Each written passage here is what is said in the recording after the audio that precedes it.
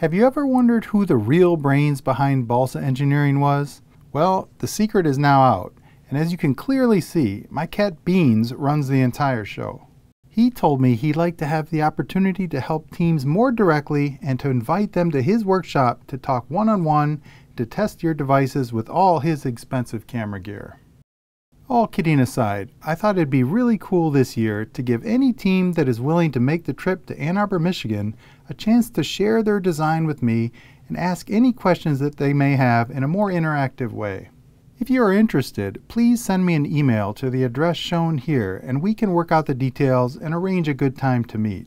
I still have a day job, so the most likely available days will be on the weekends, but I'm usually pretty flexible. Here are a couple pictures of my current workshop. As you can see, I have a wide variety of tools and material. It's certainly not necessary to have this much wood on hand to be successful. What I have here is more a result of doing this for almost 10 years, and each year requires slightly different supplies to be the most successful. This is the equipment that will most likely make your visit the most useful. Here are the cameras I use for all my videos. The video camera on the tall tripod is set up to take the live video and the smaller one is the Kronos high-speed camera which allows me to really analyze the failure modes.